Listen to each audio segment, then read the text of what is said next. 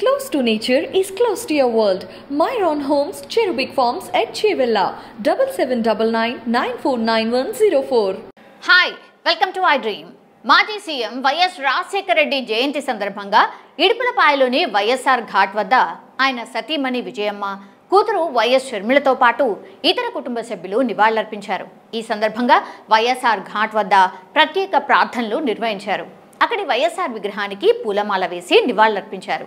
ఈ కార్యక్రమంలో వైఎస్ షర్మిల కొడుకు రాజారెడ్డి కూతురు అంజలి దివంగత జార్జిరెడ్డి సతీమణి YS Parthimma TTD chairman YV Subba Reddy సతీమణి స్వర్ణలత తదితరులు పాల్గొన్నారు. ఇదిలా ఉంటే ఏపీ సీఎం వైఎస్ జగన్ కంటే ముందుగానే షర్మిల వైఎస్ఆర్ ఘాట్ దగ్గర నివాళులర్పించారు.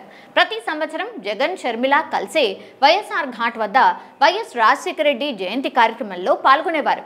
ఈసారి మాత్రం జగన్ కళ్యాణదుర్గం పర్యటనకు వెళ్ళడంతో విడివిడిగా నివాళులర్పించారు. అయితే సీఎం జగన్ పర్యటనకు సంబంధించి మీడియాకు అనుమతి లేదంటూ ప్రజా సంబంధాల శాఖ పాసులు జారీని నిలిపివేసింది. ఫోటోలు వీడియోలు పత్రికా ప్రకటనలు అందిస్తామని తెలియజేసింది.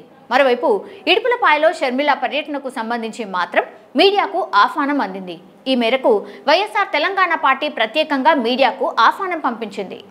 ఇక ఏడాది షర్మిల కీలక నిర్ణయం తీసుకున్నారు.